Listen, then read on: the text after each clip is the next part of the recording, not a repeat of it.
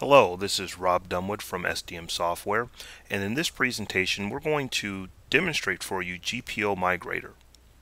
GPO Migrator is exactly as the name implies a utility that allows you to migrate GPO settings from one GPO to another GPO. You can actually merge into an existing GPO or you can create a new GPO right on the fly. So we're going to go ahead and jump right into the demo.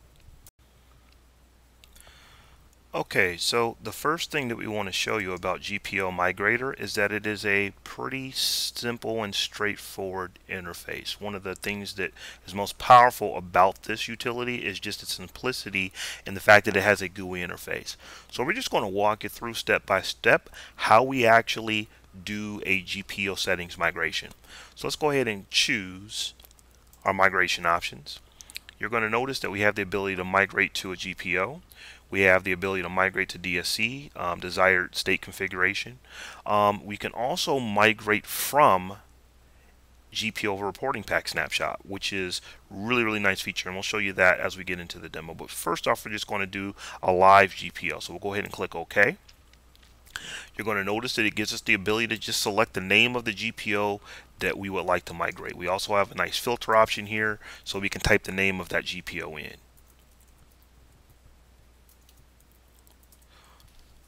So I've got a couple of password GPOs that I've created. I'm going to migrate to my password settings. We'll select that. You're going to notice that we have a settings tree here. We do not have to migrate the entire GPO. We can get specific down to the individual settings that we choose to bring across. So in my case, if I only want to bring across account policy information, I can just bring across password policy. I can bring across Kerberos policy, I can select just those options and add that to our migration. So we'll go ahead and click migrate. Now we have the ability to create a new GPO or select an existing GPO. Now we're going to create a new one, but I do want to show you the select existing GPO feature. So if you click that radio button, we then would be able to browse our environment and select a GPO that we want to push our settings into. In our case, we are going to create a brand new GPO. So we just have to give it a name. So I'm just going to call mine migrated password settings and click OK. So remember, we selected specifically just account policy and Kerberos policy to bring across in our migration. And we can see that these are the exact eight settings that we uh, have in our migration set. So all we need to do at this point is click our migrate button and we're going to see that those GPO settings have been pushed into a brand new GPO. So we go ahead and click OK. We can close this out. And now let's go take a look at GPMC and let's just see if we have anything new here. So if we go to our group policy objects, I should have a new GPO that starts with M migrated password settings and what you would notice is that the settings of this particular GPO are identical to the password policy settings that we had. Oop, wrong button there. Windows settings and security settings. And if we were to go look at our account policies we're going to see that we actually have our pop you know things that are actually populated uh, based off of what we had in the GPO that we migrated from and we could very easily run a report in uh, GPO exporter to actually do a comparison report to see that these are actually identical. So we did want to talk about migrating from a snapshot. So I'm going to go ahead and close down GPMC and let's go back into our migrator. So this time instead of migrating uh, you know to a GPO we're going to migrate from excuse me we're going to migrate you know to a GPO, but we're going to migrate from a reporting pack snapshot. So when we click this option, we have to actually go out and select where is our snapshot.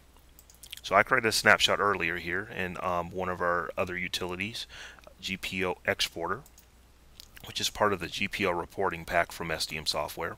And you're going to notice now that I'm a little bit limited on what I can bring across because we're not looking at live Active Directory. I'm looking at a snapshot of a GPO state that I took at some point previous to my migration now. This is a huge feature within this application. Essentially what it allows you to do is to create a snapshot of what you would like your GPO to look like in your environment. You save that and then if there are ever any changes you can just migrate uh, the changes right back into uh, said GPO. So we could come through here and I could select any of the policies that I would want to bring across and it's very granular once again but we are limited now to what is inside of my GPO snapshot. And we migrate, same thing here in this case instead of going to um, a new GPO I want to go into an existing GPO so I can go through and browse. I want to select Rob's policy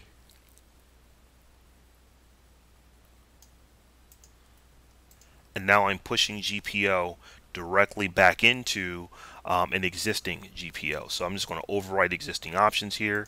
We'll click OK. We'll click Migrate, and we'll see that we've pushed a total of two settings back into our live GPO configuration state. So once again, we just wanted to give you a basic, brief overview of GPO Migrator and just show you some of the power of what this tool can do honestly, it can save you hours, if not days, on restructuring and cleaning up group policy in your environment just because of the GUI interface and the ability to push settings from one GPO to another GPO or create a brand new GPO within your environment. This concludes our demonstration of GPO Migrator. If you head over to https colon forward slash forward slash www.sdmsoftware.com, you can download a free 14 day trial version of this software. Thank you.